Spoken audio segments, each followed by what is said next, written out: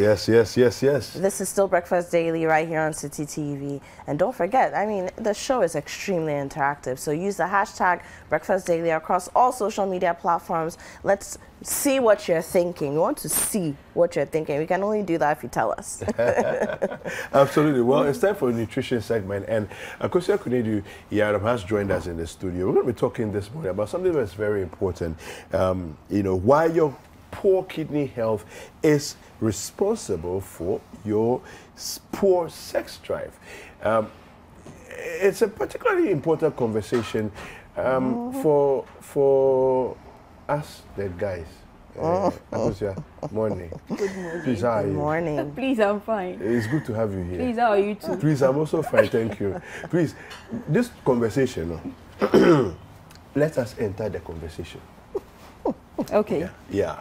So um, the kidney is responsible for filtering dirt out of our system, and okay. every 30 minutes, filtration needs to happen mm. in a normal human being.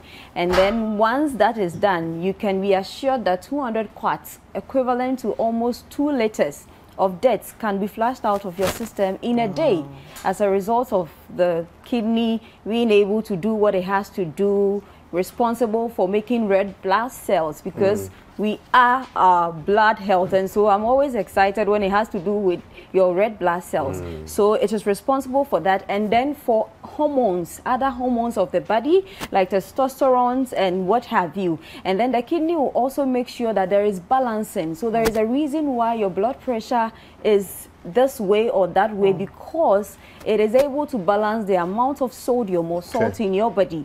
And so it is the kidney plays a very critical role in our lives as human beings. And so it affects everything about you, mm. but there is this whole thing, um, a lot of pressure it puts on men when it comes to sex drive and even for women because we also have our sex drive or you have your sex drive let me yeah. let me be a good girl yes. you have your, what's a good girl? I'm not married I'm not married you have your sex drive being also compromised in a certain way due to Absolutely. your kidney is your kidney's inability to mm. function the way it has to function and when I was doing the research and I discussed this with Electra too it was interesting to know that 80% of men with chronic kidney disease they have erectile dysfunction. Hmm. 80% of men. Interesting. Let me just ask about, because if it's linked that closely, right, then it's important to make sure that our kidney is in great health. Mm. Yes, when I posted right. this on the platform, mm. as a matter of fact, it's a, it's a huge platform, British Council something something page. I don't want to give it all out. And one man came out and was like, hey, Ayasamu, how many times do we have the average Ghanaian go like, I want to know my oh. kidney health. I want to know how my kidneys mm. are doing. Mm. But we wait most of the times. By the time we know that there is a problem, you're already showing all the clinical signs of the end stage. And at the end stage, you either need a dialysis or a transplant. Oh. Mm. And I always say that the lecturer was discussing it with, with will say that I've seen a lot of rich people come so down because they have to afford dialysis bills. And even when you think you have the money to afford a transplant, as to if you will get somebody yeah. whose kidney yeah. will match yours is also a problem. And so this kidney thing can take a lot from you. And it has everything to do with lifestyle practices we oh. indulge in.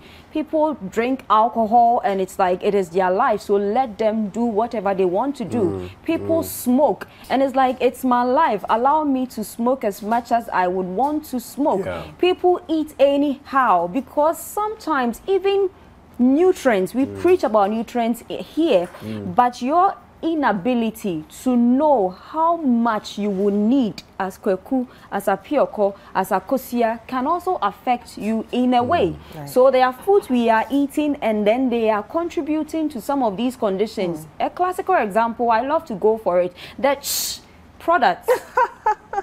Fizzy product. Fizzy yeah. products. I like that because when you say fizzy, people sometimes don't know, oh, I'm drinking juice. They are mm. saying it's juice, but they are lying is nothing mm. juice. Mm. So anything that gives you that mm. sound will make sure you are putting yourself at risk. We should try to eat healthy. And that's mm. what this segment does. We speak week upon week about what healthy foods are. And so I believe that we all can do this to make sure we are improving on our health because sex drive, mm. Mm. Okay. it takes everything from you so, as a man. So, Kosi, let's start from the beginning. I mean, um, in Ghana in general, we have a very poor health maintenance culture, mm. health in general. So you typically won't find people saying, as a birthday gift to myself, let me go and do a, a checkup.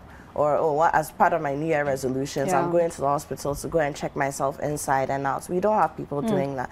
Partly because healthcare is expensive. Yeah. Um, also, partly because maybe we just don't understand how important yeah. something like that is.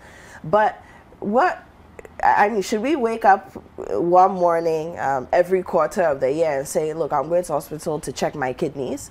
And if so, what should we expect? To start with, I would say that um, we always can start from somewhere. Mm. Let's say the end of the year as part of your resolutions mm. for 2022. Mm. You can say that, okay, 2022, even if it's for once, it's something you were not doing. Mm. I will go to the hospital, make sure everything that makes me kweku, makes me Apiorkor is checked, including your kidneys. Because mm. if the kidney is responsible for getting dirt mm. out of your body, it makes it a very, very important organ, just as your heart yeah. or yeah. your brain. And so we, we can all start. You I find mean, we bus. the we average person, even HB, right? you ask somebody when was the last time you checked your hb mm. your full blood count they go like eh, no say a day it's like they have no idea about it anemia can also be a, a reason why you have lower sex drive mm. and on this show i've spoken about it if you're a man your hb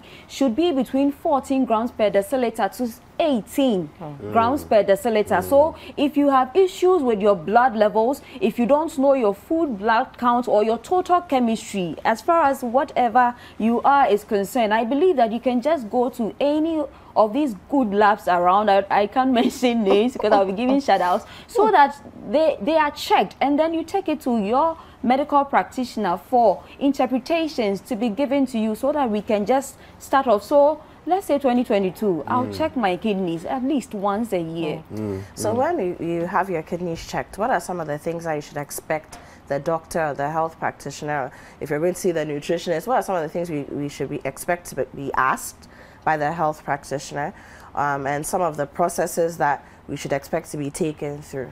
So there are tests to go. You can do the ultra scan or the CT scan. I believe that whoever you are talking to can even guide you as to what to do. You can do the kidney biopsy. Mm. You can do the blood serum um, uh, creatinine. Creatinine is very common with, with us. We know okay. much about that. And then you can do the urine up albumin test or you can do the BUN, what we call the BUN, that's the blood urea nitrogen. Okay. So there are tests to do. And once you do that, okay, so you, you can, on the screen So the you can be told where you, you are. So we have the urine volume, it can be tested. So if you are somebody who is not using the washroom or sitting down in the house, oh, I don't do even up to one liter a day. Mm. As far as urination or expelling certain things out of you is concerned, please, we all have to be on, on our guard. There mm. are people like me who struggle with water intake because if you are like me who think water tastes it's tasteless and so it, it, it's difficult it's for me i won't drink, sit here yeah. and always make it look like i have a perfect um, mm. life because i am a nutritionist i also struggle with some of the things you people struggle with mm. like water simple mm. water